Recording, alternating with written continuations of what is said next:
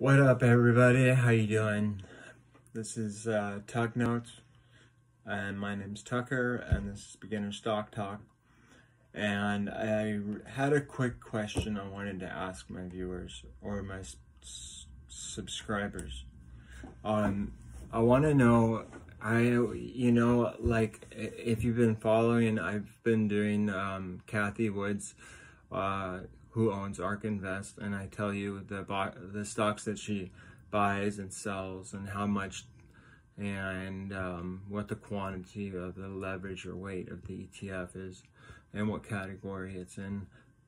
Uh, I want to know if that's helpful or if that's just like monotonous and boring and pointless, because I don't want to be doing it if no one's like, you know, getting anything out of it.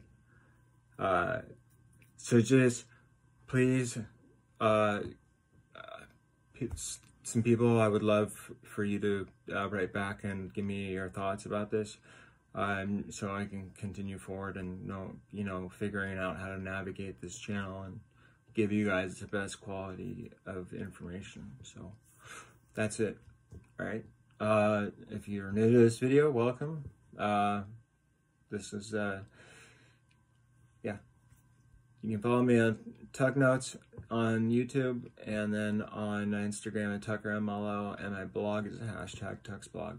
All right, bye.